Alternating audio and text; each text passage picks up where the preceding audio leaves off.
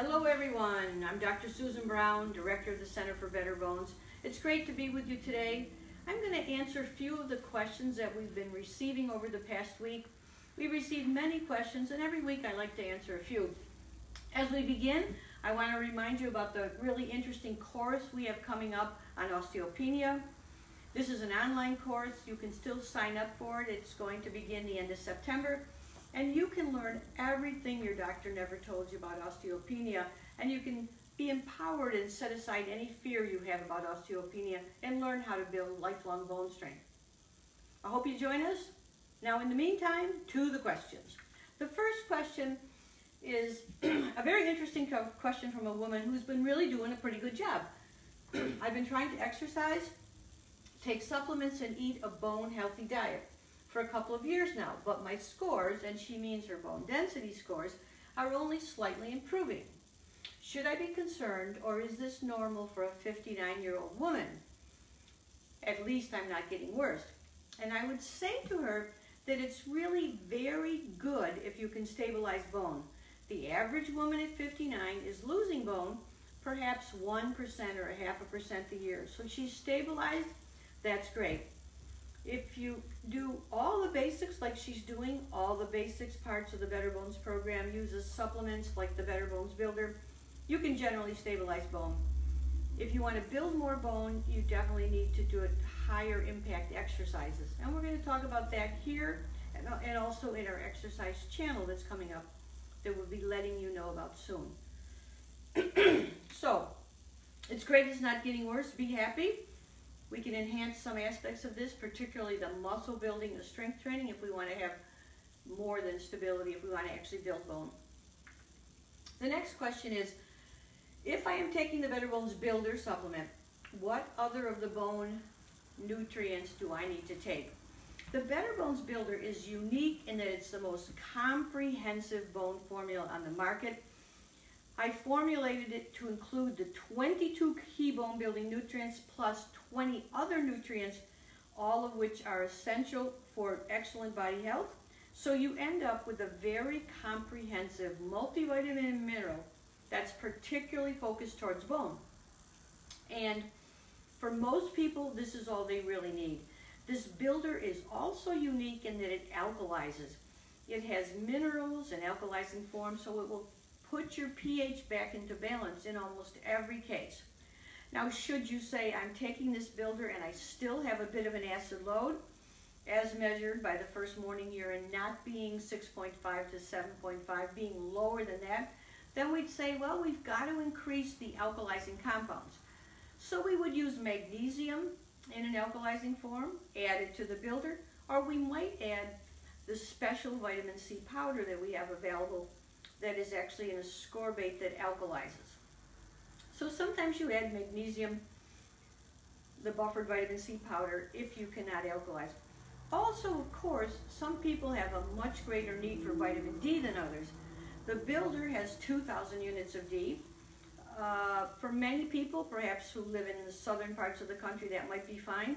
I'm up in New York. I personally have to take 5,000 units or even 6,000 units of vitamin D to get the desired 50 to 60 level. So you might have to add some vitamin D. What we suggest is you do the builder, you alkalize, you do your exercise, you do that alkaline diet. You even work to reduce stress and enhance digestion. And then if it's not going well, we can supplement more and also we can go back and look for other causes of bone weakening. The Builder is a great product. Is there equivalent product for men? You know, we these basic nutrients are good for men as well as women. Since men tend to eat a bit more, a man might be able to do with just six of the builders instead of eight of them. But it's perfectly fine for men to use this also. The next question is, could you please tell me what you use for the fats. I know it's EFAs, essential fatty acids, but what specifically? Right now, I'm taking a quality krill oil. Would this supplement replace my krill? And what she's talking about is the Better Bones Builder omega-3 fats. Omega-3 fats have been shown to be very important for bone health. Specifically, people with higher levels of omega-3 fats in the blood that is EPA and DHA, have much less hip fracture risk and have a better dense bone density in the hip. The omega-3 fats are extremely anti-inflammatory and they're important building blocks for bone. Now krill is a source of omega-3 fats and that's a nice oil, particularly for people who have the, the fish oils repeat on them. The Better Bones Builder has 600 milligrams of EPA and DHA and that's a great starter. So it would be fine to use the builder with the krill or you could say I'm just going to use the krill. We often use a cod liver oil, which has maybe 3,000 milligrams of EPA and DHA together. Remember, even the American heart doctors are saying we should get 600 to 1,000 EPA, DHA. At the bone, uh, our bone, at the Center for Better Bones, we in like 3,000 EPA and DHA combined. A great supplement. And when you look at the bottle, be sure they give you EPA and DHA content. Sometimes they say total EFAs, but you don't want that. You want to look at the EPA and DHA. Very important. Coconut oil and olive oil are nice fats. Olive oil is particularly interesting because it has some plant compounds uh, that actually have been shown to stimulate new bone formation. And in Spain, they have researched this and they've made a product. They, they extract some of these compounds from olives and make a product uh, called Bonolive, which really does also help to build bone. And what they said is you can take the supplement or you can take three tablespoons of extra virgin olive oil. A great idea. Coconut oil has many benefits and it's fine to use it. I wouldn't depend on it for my essential fats though. What's the latest research on dairy for bone health? I love cheese. I think this was a woman from Kansas. You think she might be from Wisconsin. I personally like cheese too, and what the research shows is if a person is not sensitive to dairy, if they can digest it well, dairy is a fine food. It's high in certain minerals like calcium, it's high in protein. If a person doesn't digest dairy well, you don't want to really use it. But as a whole, what we do see now is the need for calcium has been overstated we put far too much attention on calcium, getting enough calcium, and not paying attention to all the other bone building minerals. So now the government is saying 1,200 milligrams of calcium from diet and supplement is all you need. And as we look around the world, and as I looked around the world for my book, Better Bones, Better Body, we see many cultures that had six, seven, even 500 milligrams of calcium and did fine. So don't expect milk to be your solution. In fact, studies have shown that if you're very, very deficient in calcium, milk can help, but otherwise it's not going to be such a gigantic bone booster. But if you can digest it, it can be a good source of protein and nourishment. And it's certainly better than sodas and other things that people are drinking today. The next question is about strontium. Uh, this person writes, and we're going to suspect this person is from Europe. I am extremely disappointed that strontium ranelate is no longer manufactured. I was diagnosed with osteoporosis 22 years ago. I was initially prescribed Fosamax, which I took for nine months. I stopped the Fosamax due to adverse side effects. I took pro, pro, for over 10 years. Protelos is a strontium. And my bone density increased. Protelos agreed with my system and I am now looking for a healthy alternative. Okay, so this is kind of complicated. To my knowledge, strontium ranelate is available still in Europe. I just noticed on the internet that the, the British no longer import it, but it's a French product and it's still available. The problem is it's a drug therapy and the problem is it had serious side effects. So after many years of using it, the European Medicines Agency in 2014 said, we really shouldn't recommend this for bone because of the increased risk of heart attack and blood clots.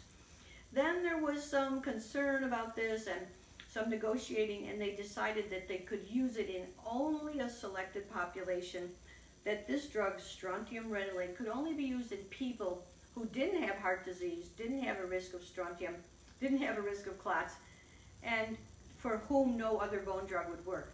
So it's interesting, you liked it, but the government agencies in Europe did found it was not really terrifically safe.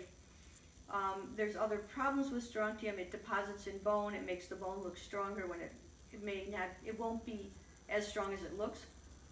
Even though strontium in the short term does reduce fracture um, a little bit. And it's the one bone drug that tends to help build new bone. So the long and the short of it is strontium ranelate is not available in the U.S. It never was. In the U.S., you can buy strontium as a supplement, but again, you're taking high dose, drug dose level strontium that we really don't recommend.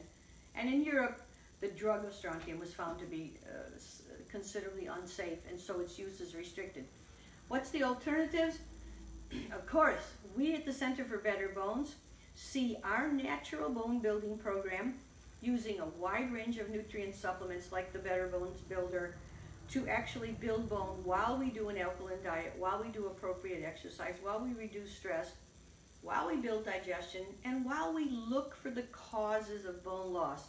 Every single case I see, whenever a person comes to me, the first step is to see why are you losing bone?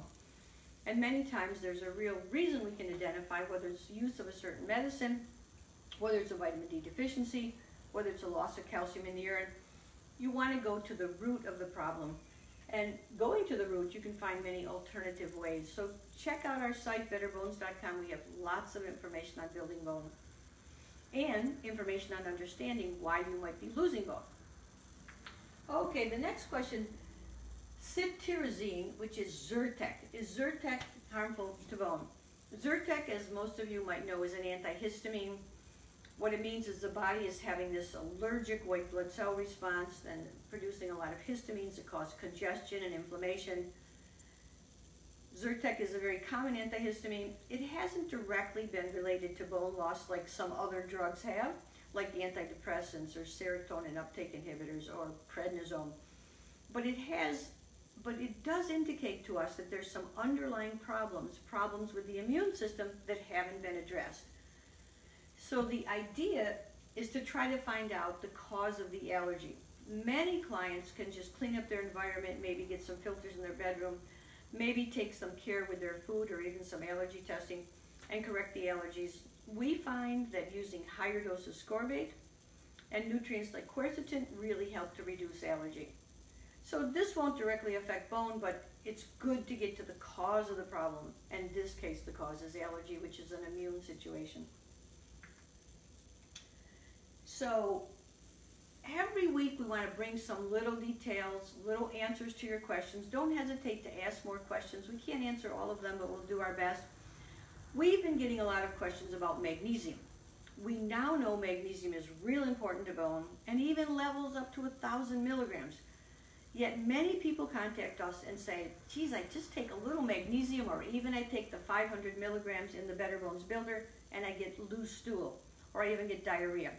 So we're going to talk about this use of magnesium, the science behind magnesium causing a loose stool, and how this really means that you have a block to magnesium uptake. It doesn't mean you don't need the magnesium, and we're going to teach you how to correct that block. So join us next week on Facebook. We're going to talk about magnesium and how to enhance your uptake. And in the meantime, have a great week, and we'll see you all soon.